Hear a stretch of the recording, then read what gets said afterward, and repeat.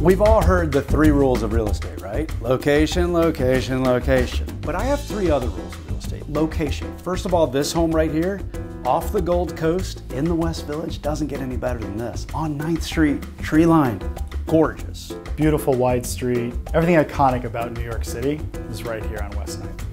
Second for me is significance.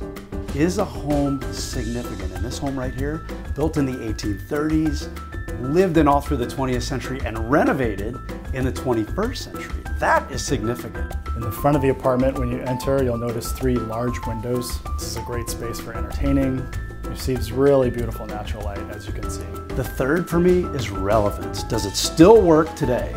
And I gotta tell you, this home works better today. Yeah, you've got the high ceilings. Yes, you have the beautiful chevron floors from Belgium. Yes, you have a wood burning fireplace. You have character. You have exposed brick. You have a layout that is not cookie cutter. And that is so refreshing. And that never goes out of style. Further down the hall, there's a built-in wine fridge.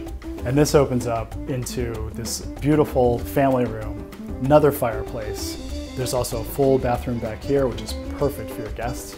One of my favorite features are these beautiful pocket doors. So just beyond that dining room is a true chef's kitchen.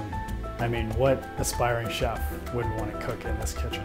So if you want to see something that I think is really going to knock your socks off, call me Brian Lewis of Compass or my colleague Stephen Brooks of Compass, and we're going to get you to see one of the most beautiful homes on one of the village's most beautiful streets in New York City.